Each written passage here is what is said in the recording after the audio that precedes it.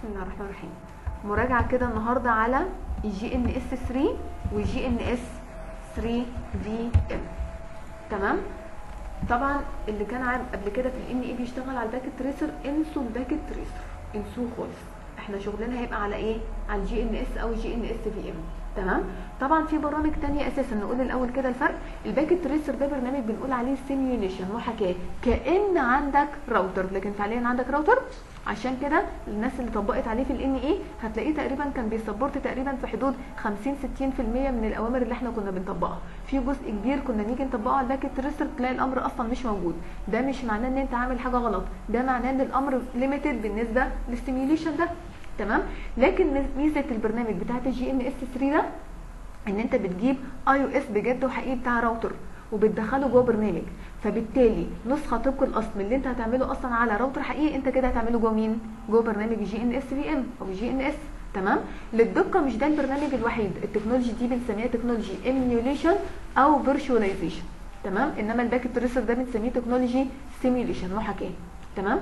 في برامج كتير برضو بتعمل لي technology ال emulation بالنسبة ل Cisco. على سبيل المثال Cisco عندها product خاص بيها اسمه VIRL ال Packet Tracer بتاع Cisco. بس هي مصممة للناس اللي هي limited لسه في الإمكانيات بتاعتها في Cisco. إنما برنامج ال VIRL ال VIRL ده أصلا يعني نظام emulation برضو بتاع Cisco. بس هي عاملاه للناس اللي بتذاكر courses advanced على سبيل المثال زي مثلا ال CCIE تمام؟ في كمان عندنا ال EVE تمام؟ برنامج ال EVE برضو نفس الفكرة بتاعت ال GNS. أنا عن نفسي اتعاملت مع ال EVE وال GNS. هو آه كل واحد فيهم ليه مميزات وكل واحد فيهم ليه عيوب تمام؟ بس أنا عن نفسي بصراحة استريحت أكتر ل GNS VM ده أكتر واحد أنا استريحت له. ال VIRL لا. ال VIRL أنا جربته مرة تمام؟ اولا تقيل تقيل قوي قوي قوي تمام؟ plus إن أنا لما بضيف جواه ال operating systems في بعض التهييسات برضو بتحصل. وال GNS برضو بيبقى فيه شوية تهييسات مش هقول لكم إن هو سيناريو perfect لكن in general أنا شايفة إن GNS أصلا أخف والتهييسات اللي فيه خلاص الواحد بقى familiar معاها. من كتر ما أنا اتعاملت معاه الواحد بقى أصلا familiar معاها. تمام؟ بقيت بعرف أحلها بسهولة جدا. فطول ما إحنا ماشيين لو حصل أي تهييسة هقول لك التهييسة دي تحلها بالطريقة الفلانية. تمام كده؟ عايز تتعامل بال VIRL بس ال VIRL طبعا مشكلتنا الرئيسية كمان معاه إن هو ب license مش for free ومش ينفع بقى يتكرك والحوارات دي. تمام؟ إنما GNS لا ال GNS ده أصلا البرنامج ذات نفسه for free لكن جيرمي جيرمي ده الولد اللي كان عامل برنامج ال GNS أصلا كان طالب فرنسي أصلا لما عمله تمام؟ ده كان عبارة عن مشروع التخرج بتاعه يعني. المهم إن جيرمي أصلا قال لك إن برنامج ال GNS هديهولك for free لكن بالنسبة لل IOS أنا ماليش دعوة بيه. أنت بقى إيه؟ اتصرف فيه. لأن طبعا ال IOS اللي هو ال operating system بتاع سيسكو ده بفلوس. تمام؟ برنامج ال EVE بقى في منه نسختين. في منه نسخة أصلا for free وفي نسخة منه commercial طبعا ال commercial الإمكانيات بتاعتها أعلى. هو يمكن في ميزة قوية في ال EVE عن ال GNS إنه بي support تقريبا إن أنت تضيف جواه تقريبا كل حاجة. تقدر إن أنت تشتغل عليه كورسات ال FortiGate تقدر تشتغل عليه يعني حاجات كتير قوي. تمام؟ إنما بالنسبة لل GNS لا ال GNS برضه يعني مقارنة بال EVE لا تقدر إن أنت بي support حاجات أقل. إنما بالنسبة لشغل سيسكو شغال معانا perfect وزي الفل. وضحت الفكرة لغاية دلوقتي؟ فاللي هنشتغل عليه إيه؟ ال GNS طيب إيه الفرق بين ال GNS وال GNS VM أول ما جيرمي عمل البرنامج بتاعه كان اسمه GNS 3 وللدقة كان حتى اسمه زمان Dynamips أول ما نزل خالص. المهم بعد كده عمل منه نسخة جرافيك سماها GNS 3 ودي بت support ال routing بطريقة ممتازة. قدر إن هو يذاكر ال processor بتاع راوتر سيسكو كويس جدا وقدر إن هو ي emulate ال processor بتاع الراوتر تمام؟ فال GNS أصلا بالنسبة لل routers مش هقول لك هي support 100% من الأوامر لكن لو قلت لك إنه هي support تقريبا من 95 ل 99% من كل أوامر سيسكو سيسكو لغاية level CCIE إيه رأيكم؟ ممتاز جدا ولا لأ؟ تمام؟ بس مشكلتي مع ال GNS أصلا إن جيرمي ما قدرش إن هو ي emulate ال switch ما قدرش إن هو يخليه support ال switch ليه؟ لأن ال switch لو تفتكروا من أيام ال NA كنا قلنا إن ال processor مش هو اللي بيبص على كل جزء من أجزاء ال data. أمال مين اللي بيبص على كل جزء؟ كان أيوه ال ASIC حتة ال IC الصغيرة دي. وللدقة ال motherboard أصلا يدينا كان بيبقى عليها أكتر من ASIC ASIC مسؤول مثلا عن ال port security ASIC مسؤول عن البروتوكول ال dot 1 X ASIC مسؤول عن مش عارفة مين. تمام؟ فال motherboard بتاعت ال switch عبارة عن مجموعة كبيرة من ال ASICs ASIC مسؤول عن كل technology معينه وعلشان كده جيرمي ما قدرش إن هو ي emulate كل الاي 6 دي. فإيه اللي حصل بقى؟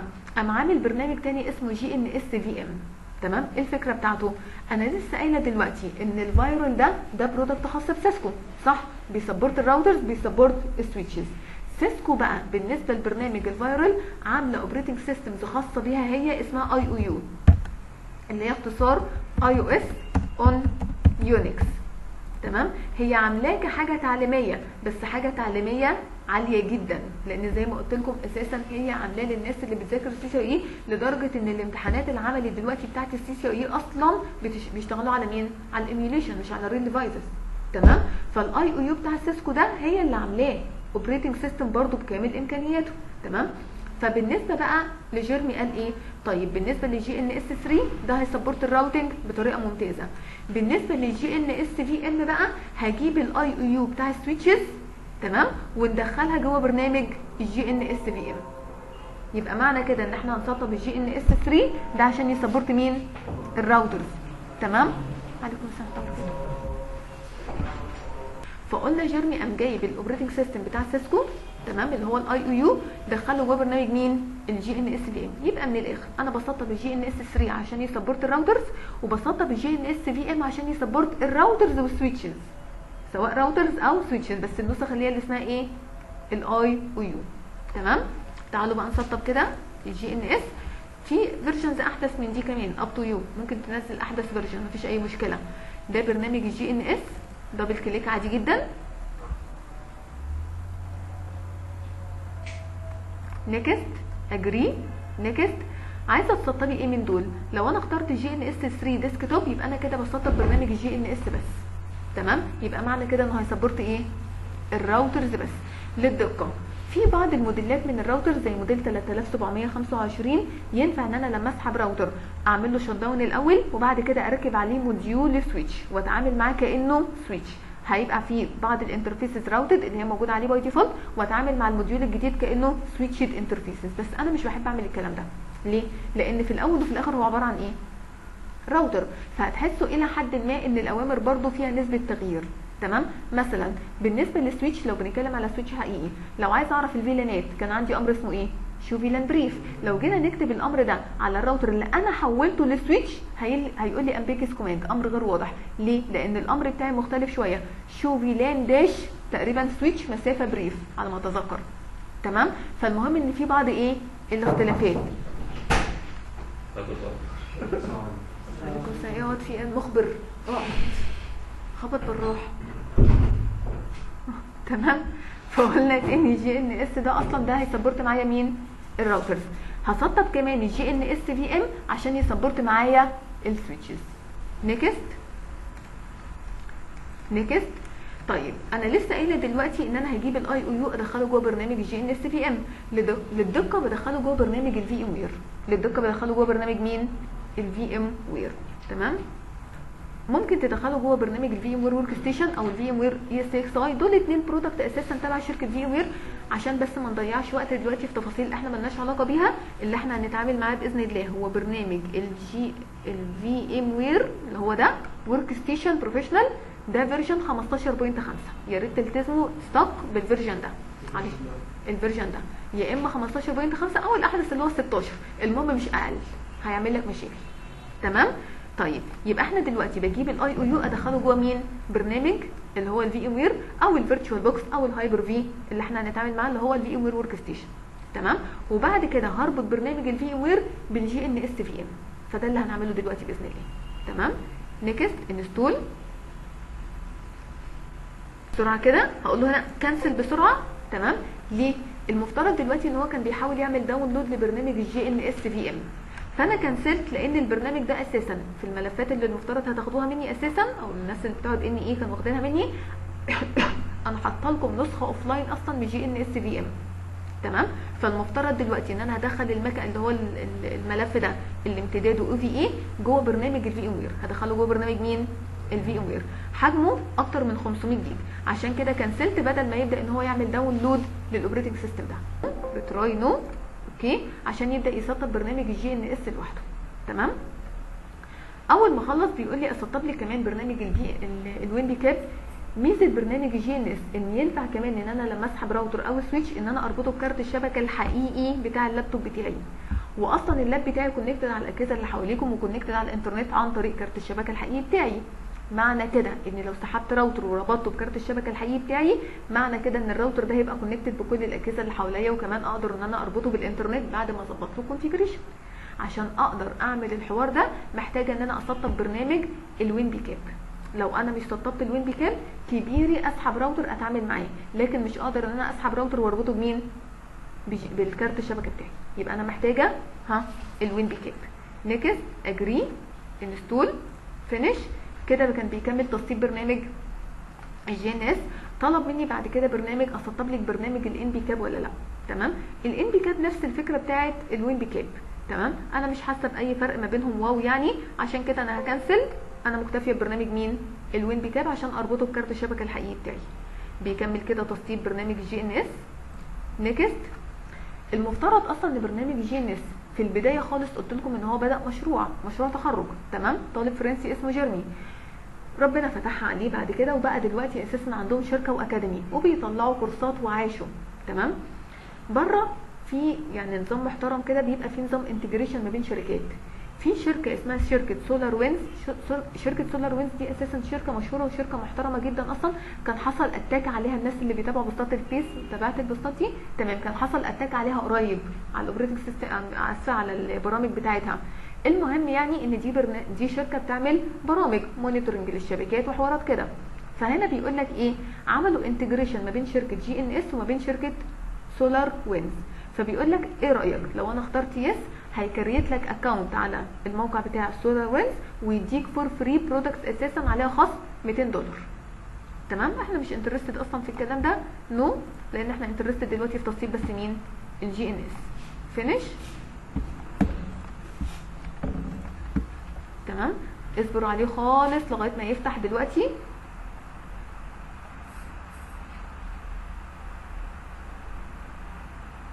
ويا ريت تكون عامل أساسا لل firewall بتاعك off تمام؟ كده بيشتغل أهو. تمام؟ بيقول لي بقول لك إيه؟ إحنا اتفقنا أصلا إن نسخ ال IOU هدخلها جوه برنامج مين؟ ال VMware تمام؟ فلو قلت له دلوقتي بيقول لي run the appliance in virtual machine آه أنا عايزاه جوه virtual machine next next تمام؟ بيقول لي معلش ثانية واحدة. أنا ما لقيتش أصلا مكنة ال GNS VM جوه برنامج ال VMware الامتداد OVA ده عبارة عن مكنة جاهزة. طبعا الناس اللي اتعاملت مع ال VMware قبل كده تقدر إن أنت أصلا ت create مكنة. تمام؟ هنا بقى الامتداد OVA ده معناه إيه؟ إن دي مكنة جاهزة. يعني إيه مكنة جاهزة؟ يعني لما تيجي دلوقتي تفتح لي برنامج ال VMware مش تقول له create لي بقى مكنة جديدة. لا أنا هقول له هنا file open المكنة اللي اسمها إيه؟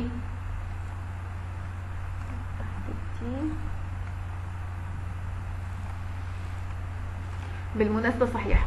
أنا دلوقتي بسطب version كام؟ 2.2.15 تمام؟ يبقى وأنت أصلا بتعمل browse على مكنة ال OVA يكون نفس ال version عشان في ناس أصلا بتعمل حركة هنا غبية قوي. تعمل إيه؟ تروح مسطبة ال version ده تمام؟ وتروح عاملة import أصلا للمكنه بتاعة ال OVA اللي هي بتاعة ال version التاني. تمام؟ لا دي هتعمل لي مشاكل. بالمناسبة هو ما قراهاش هنا على ال version ده لأن مكنة ال OVA هنا أنا ضغطاها ف just إن أنت لو عايز تشتغل على ال version ده extract الملف اللي هو GNS VM علشان يقرأ الامتداد اللي هو OVA تمام كده؟ طيب يبقى إحنا في حالتنا هنسطب أو هنعمل import للمكنة اللي هي ال OVA دي. تمام؟ بيقول لي أسميها لك إيه؟ الاسم اللي فوق ده اللي هو الاسم ال tab اللي بتظهر هنا دي. تمام؟ هتتحط فين؟ هسيبها على ال default. import لغاية ما أعمل لها import هنا بقى لو قلت له okay just أول ما أقول له refresh المفترض ساعتها إن هو هيعمل لها detect وسيب برنامج GNS هو اللي يشغل أصلا برنامج ال VMware بلاش أنت ت run ال VMware بإيدك. سيب برنامج GNS هو اللي ي run مين؟ ال VMware أدي المكنة بتاعتي أهي واخد رامات 2 جيج. 2 جيج حلوين قوي على فكرة حتى في ال NP هيشغلونا كويس قوي في GNS VM أنا بس عشان إيه ننجز شوية في الشرح يعني هديله رامات 4 جيج. إنما 2 جيج معاك حلو قوي. تمام؟ أول ما أقول له refresh لقط فعلا المكنة أهو. وه reflect بس ال memory الجديدة اللي أنا اديتها اللي هي 4 جيج وهديلها processor واحد. next finish بصوا إيه اللي حصل؟ أنا ما شغلتش المكنة.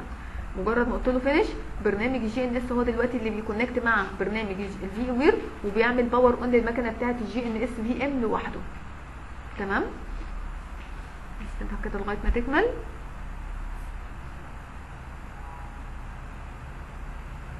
كده المكنة بتاعتي قامت.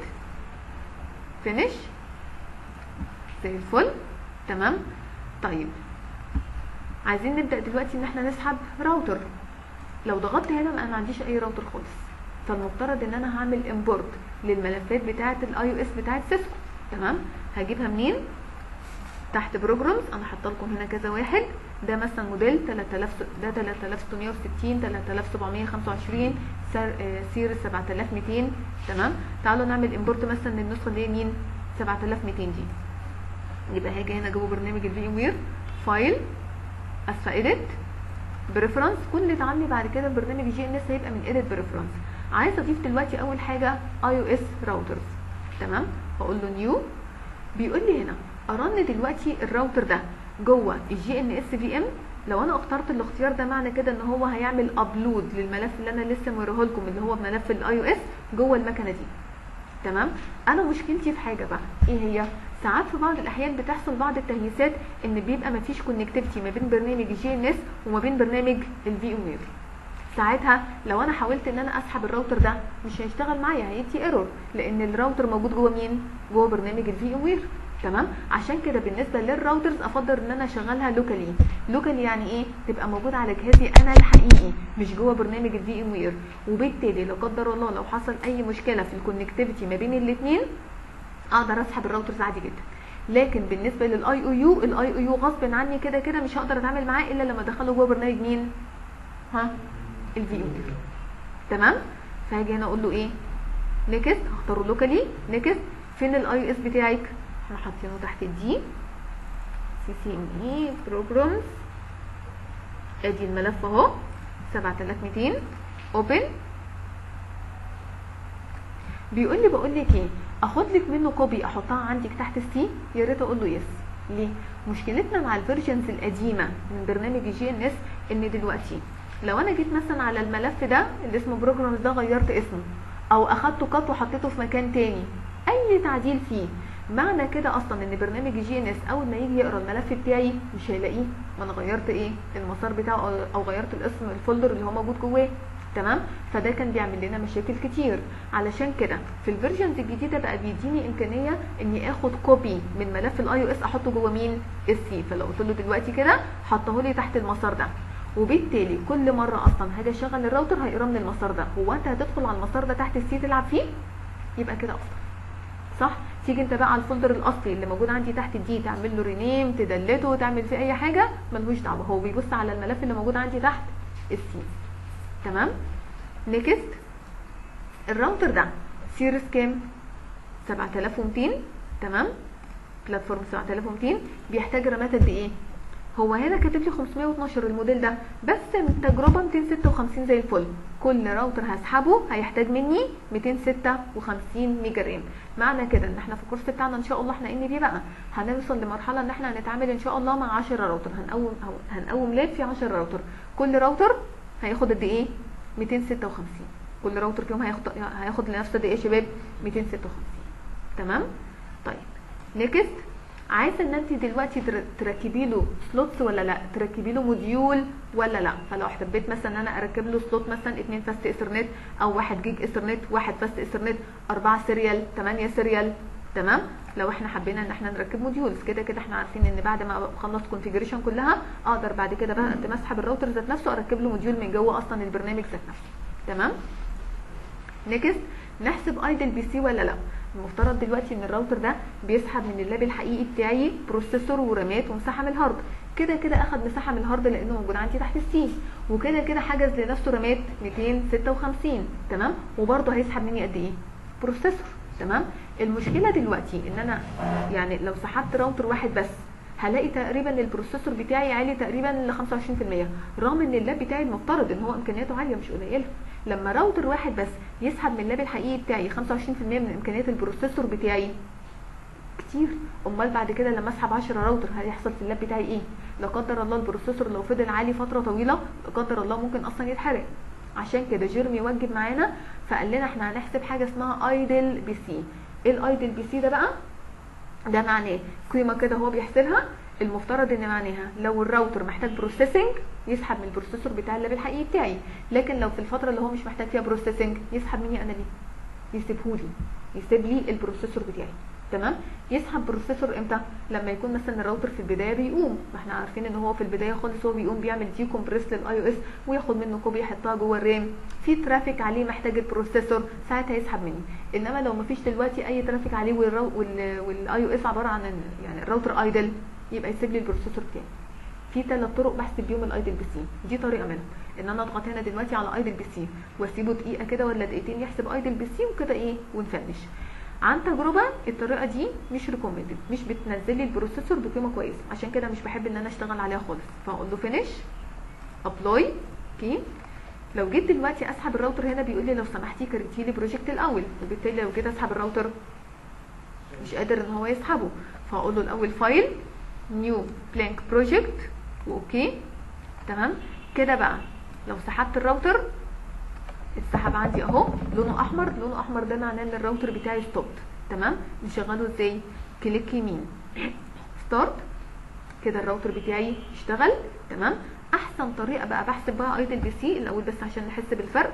لو جيت فتحت ال Task Manager لسه بنقول يا هادي وال processor فعلا بتاع اللاب بتاعي عالي قوي. تمام؟ فوق ال 30% لا كده كتير قوي على راوتر واحد. عشان كده نحسب له idle PC يا إما إن أنا click عليه يمين وأقول له idle PC أو auto idle PC لو أنا اخترت idle PC هو مع نفسه هيبدأ إن هو يختار أكتر من قيمة وبعد ما يخلص خالص هيديني اختيارات. عايزة تختاري أنهي قيمة؟ تختار بناء على إيه؟ أفضل قيمة فيهم اللي بيبقى جنبيها علامة الاسترسك علامة النجمة. تمام؟ طب لو في أكتر من قيمة جنبيها علامة نجمة أي واحدة فيهم. طب لو ما فيش ولا واحدة جنبيهم علامة نجمة اختار أي واحدة وجرب. تمام؟ عن تجربة أفضل واحدة فيهم أوتو ايدل هو مع نفسه دلوقتي بيبدأ إن هو يرن. كل القيم اللي عنده ويختار أفضل قيمة يطبقها على ال processor.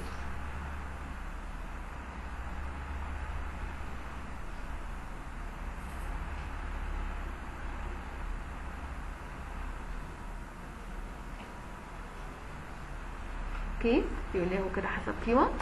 لو جينا نبص على ال processor كده. ها زي الفل ولا لأ؟ تمام. عايزة ا connect على الراوتر.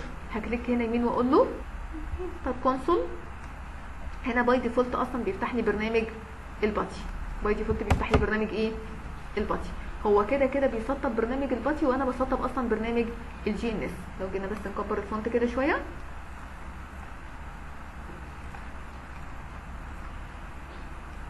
تمام؟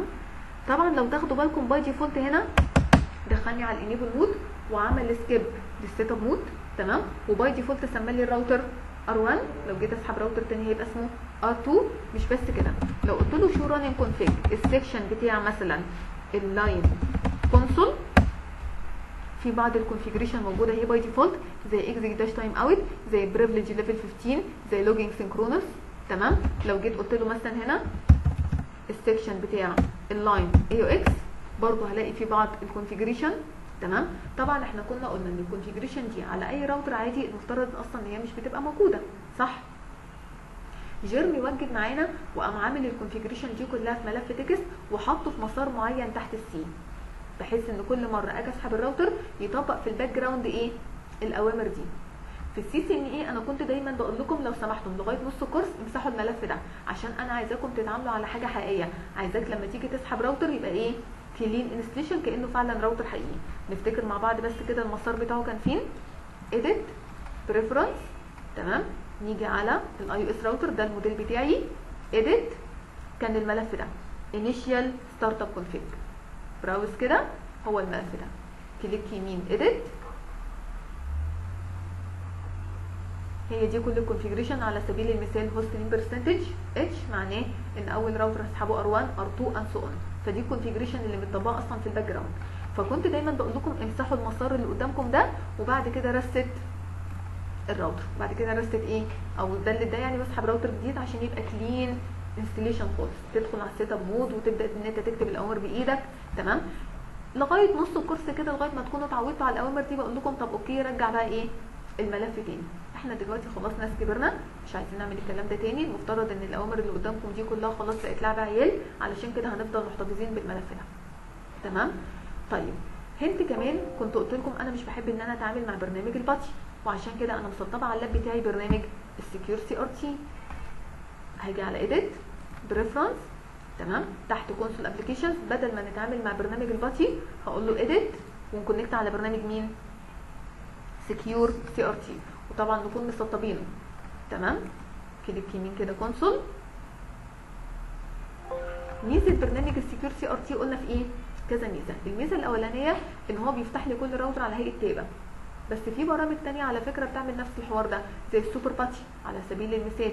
برضو لو أنت نزلت ال Super PuTTY مش ال PuTTY بيفتح لك كل راوتر على هيئة tab في ميزة هنا كمان قوية قوي إن لو جيت على view وحطيت هنا علامة صح على command chat وجيت تحت هنا كده click يمين قلت له send command to all sessions تمام؟ أي أمر بكتبه هنا بيتنفذ على كل ال routers في خبطه واحدة. فدي هنحس بيها بقى في الكورس بتاعنا قوي لأن زي ما اتفقنا هنقوم routers كتير. في حاجات أساسية هبقى عايزة إن أنا أعمل لها configuration زي مثلا على 10 راوتر أنتوا نفسكم وإحنا لو عملناها على راوتر راوتر أنتوا نفسكم هتتخانقوا. فده بقى بيساعدني إيه؟ في الحوار ده كويس قوي. تمام؟ مش عايزها تقفلها. وضحت كده؟ يبقى التعامل بعد كده هيبقى عن طريق برنامج ال SecureCRT بس لازم تكون مسطب البرنامج. لو انت مش مسطبه واخترت ال option من edit preference اللي أنا لسه موريه لكم تيجي تفتح الراوتر هيديك مش هيديك حاجة أصلا مش هيفتح حاجة أصلا. تمام؟ كده اتعلمنا إزاي إن أنا أضيف راوتر. تعالوا كده كمراجعة بسرعة تاني نضيف واحد تاني. edit preference واجي على IOS routers new تمام؟ أ run ه locally next new image ولا existing image هختار new image هو ليه existing image ظهرت؟ لأن أنا فعلا copy ت نسخه عندي تحت ال C. تمام؟ فأنا هختار new image هن browse دلوقتي على الموديل التاني اللي هو 3725 لأن برضه هنحتاج الموديل ده في الكورس بتاعنا إن شاء الله. تمام؟ open هي copy ه برضه تحت ال C. next next ده بيحتاج 128 RAM. بلاش تقلله عن كده ومش محتاج تزوده عن كده. تمام؟ next هنضيف له. interface أو slot ولا لأ؟ next okay ولا لأ؟ تمام؟ تعالوا بالمرة نحسب من هنا كده idle PC على السريع. طبعا الأفضل ال auto idle PC تمام؟ عشان الناس أصلا اللي تنحت دلوقتي دي المفترض الناس اللي أول مرة تحضر معايا النهارده إحنا في ال CCNA كل شغلنا أصلا على برنامج GNS تمام؟ و GNS VM تمام؟ أنتوا الكلام ده مش هتعملوه كل مرة. أنتوا الكلام ده بيتعمل مرة واحدة. التسطيب ده بيتعمل مرة واحدة. بعد كده هت run البرنامج تسحب الراوتر تشتغل على طول. ت double click على البرنامج تسحب الراوتر تشتغل على طول. فانت هتتعب بس كده شوية في الأول لكن بعد كده الدنيا هتبقى سهلة معاك إن شاء الله. تمام؟ okay. finish زي الفل. بقى عندي الاثنين راوتر تمام؟ طيب مش عايزين بقى الراوتر ده دلوقتي. بالمرة بقى تعالوا نتعلم إيه؟ إزاي إن أنا أضيف IOU قبل ما نضيف ال IOU بقى تتأكد هنا إن ال GNS VM لونه أخضر بالمنظر ده. طالما لونه أخضر معنى كده إن أساسا برنامج ال GNS قدر ي connect مع برنامج ال VMware تمام؟ طيب هنيجي على edit preference واجي المرة دي على IOU device أجي المرة دي على مين؟ IOU devices إحنا قلنا ال IOU دي كانت سيسكو أصلا في الأساس خالص عاملاها عشان برنامج ال VIRL تمام؟ new شوفوا حتى المرة دي أصلا اختفى ال option بتاع ال local بقى بي support بس إيه؟ ال GNS VM لأن ال IOU مش بينفع إنه يتحط إلا جوه ال GNS VM next ن browse كده على النسخة اللي عندي. هلاقيها تحت دي تحت programs تحت ال GNS أدي ثلاث نسخ أهو من ال IOU اللي موجود عليها اللي مكتوب عليها أساسا layer 2 تمام؟ سواء دي شايفين الماوس؟ واللي تحتيها برده مكتوب عليها layer 2 الاثنين دول switches وبالمناسبة دي مش layer 2 switch آه صحيح مكتوب عليه layer 2 لكن دي عبارة عن نسخ ل multilayer switches تمام؟ اللي تحت اللي مكتوب عليها layer 3 ده IOS لراوتر ده IOS لمين؟ لراوتر تعالوا نضيف مثلا النسخة اللي هتشتغل عليها اللي هي 15.2 دي أحدث حاجة أنا نزلتها وشغالة معايا perfect لغاية level CCIE open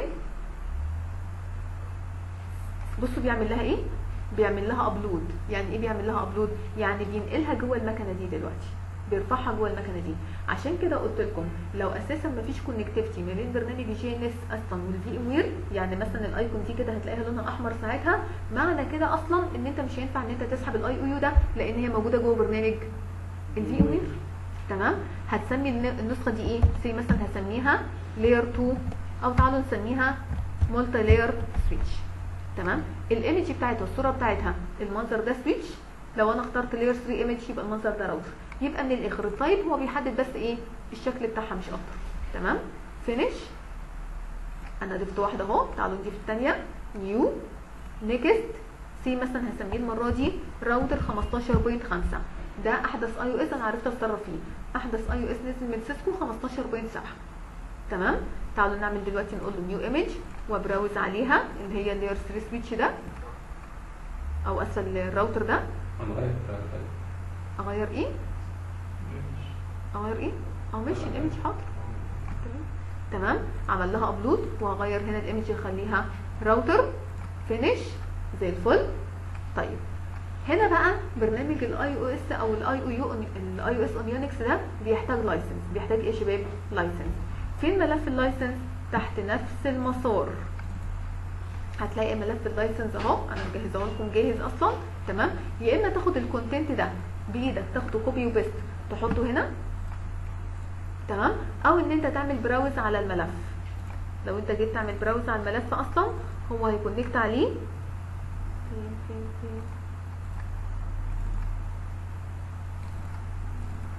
هو ه connect عليه ويجيب ال content بتاعه. ودي برضو حركة حلوة قوي تحترم منهم. لأن ال versions القديمة كنت لما بعمل browse على ملف ال license كان بيجيب لي المسار بس وبالتالي ملف ال license لو ات delete أو أنت نقلت مكانه البرنامج ما كانش بيرضى يشتغل تاني. إنما دلوقتي بقى بياخد ال content ذات نفسه. وبالتالي لو غيرت اسم الملف أو نقلته في أي مكان تاني عادي ال- البرنامج هيفضل شغال. تمام؟ كده زي الفل. لو جيت أضغط بقى على ال icon دي كده الأول تحت routers ظهر فعلا عندي راوتر جديد اهو موديل 15.5 ده الاسم اللي أنا حطيته تمام؟ ولو جيت هنا تحت ال icon اللي تحتيها دي في عندي هنا فعلا الاسم الجديد اللي ظهر اللي هو multilayer switch. لو جيت شغلته click يمين start double click عشان افتح ال terminal بتاعته. مش هقول لكم إن ال switchات اساسنس أو ال IOU في ال switches يعني سيناريو perfect لكن مقارنة بال Packet Tracer مثلا مفيش وجه مقارنة. يعني تقريبا بي support إن إحنا نشتغل مثلا up to 90% من أوامر Cisco لغاية level CCIE تمام؟ مثلا من بعض الاختلافات بعض الاختلافات طبعا دخلني على ال enable mode direct وبرده بيبقى فيه شوية configuration موجود برده عندي إيه؟ شوية configuration تمام؟ في برضو فرق إن لو قلت له هنا show interface مسافه status طبعا بصوا كده. ده switch 2960 موديل 2960 ال ports اللي قدامكم دي كلها دول 24 port نوعهم fast ethernet والاثنين uplink دول السرعة بتاعتهم 1 gig ethernet فده حاجة حقيقية. تمام معلش. تمام؟ إنما بالنسبة لل IOU Cisco في الأول في الآخر قلنا عاملاه كحاجه تعليمية. عشان كده أسامي كل ال interfaces ethernet ethernet 0 على 0 مثلا. السرعة طبعا بتاعت الايثرنت 10 meg إنما مثلا بالنسبة لل switch ال fast ethernet 100 meg ال gig ethernet 1 gig تمام؟ hint كمان اختلاف كمان. إن مثلا بالنسبة لو كان switch حقيقي يعني ال default إن ال interface تلاقيها not connected ما هو مش متوصل دلوقتي بحاجة. إنما في ال IOU هلاقيه دايما connected فطول ما إحنا ماشيين اللي أقصده طول ما إحنا ماشيين لو في أي فرق بيفرق ما بين ال IOU وما بين ال switch الحقيقي هقول لك ده في فرق ما بينه وما بين ال switch الحقيقي كذا. عشان كده قلت لك هو مش سيناريو perfect لكن مقارنة بال Packet Tracer ولعب العيال ده لا مفيش وجه مقارنة. تمام؟ حد عنده أي أسئلة في الجزء ده؟ hint كمان طبعا زي ما اتفقنا بعد كده بص لو أنا قفلت البرنامج هو بنفسه بي connect أصلا على برنامج ال VMware ويعمل له shut down بص صبرنا عليه كده شوية. هو أصلا هيعمل له shut down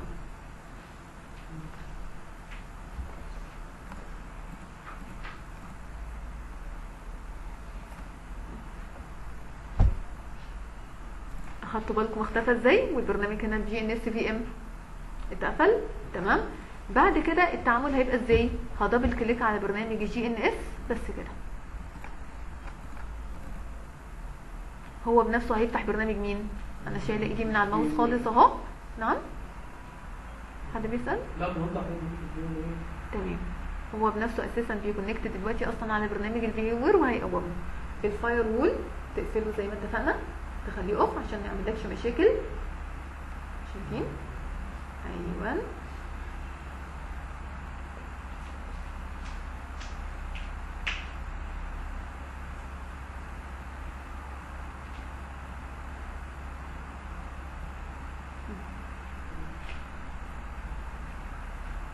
زي الفل اهو كده اشتغل. تمام؟ وفعلا هنا لونه اخضر ساعات في بعض الأحيان بتحصل تهييسات لونه هنا بيبقى أحمر. آه المكنة تقوم powered on تمام؟ لكن اللون هنا بيبقى أحمر. طالما اللون أحمر ده معناه إن مفيش connectivity ساعتها ما بين ال GNS أصلا وما بين ال VMware تيجي ساعتها تسحب الراوتر الاثنين دول يشتغلوا. تسحب الراوتر ده مش هيشتغل لأن النسخة دي إحنا كنا ضايفينها جوه برنامج ال VMware صح؟ طب والحل؟ بكل بساطة. أصلا لما بنيجي نسطب برنامج ال VMware المفترض إن هو بيرمي عندي كارتين شبكة تخيليين. واحد اسمه VMnet واحد والتاني اسمه VMnet 8 تمام؟ ال VMnet 2 و3 دول دول أنا اللي ضايفاهم إنما ال default بتاعه إن هو بيسطب عندك إيه؟ VMnet واحد وبيسطب عندك VMnet 8 double click كده details هلاقيهم واخدين IP 192 168 whatever واخدينهم منين؟ برنامج أصلا ال VMware built in في قلبه كده DHCP server صغير. فلو جيت على edit virtual network editor هلاقي مثلا على سبيل المثال VMnet واحد شغال عليه DHCP صغير بيوزع IP ات في ال range بتاع 192 160 109 what مش ده فعلا كان ال IP اللي الكارت بتاعي واخده؟ لو قلت له DHCP setting بيوزع IP ات ابتداء من 128 ل 254 ونفس الكلام بالنسبة ل VMnet 8 برضه هتلاقيه واخد IP في ال range بتاع 192 160 12 ساعات في بعض الأحيان بتحصل تهيسة إن الكارتين دول ما بيكونوش أخدوا IP من ال DHCP اللي built in في برنامج ال VMware وبالتالي بتلاقيهم واخدين IP APIPA 169 254 تمام؟ طب مش هيحصل connectivity كده ما بين الاثنين وقلنا ساعتها التأثير إن هو لونه هنا بيبقى أحمر مش بيشتغل. تمام؟ طب والحل؟